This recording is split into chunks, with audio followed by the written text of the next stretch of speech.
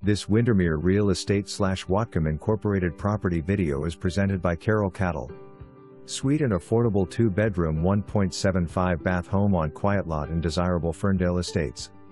Well run park is quiet and well cared for? Light and open floor plan, wood stove, utility slash mud room and storage shed.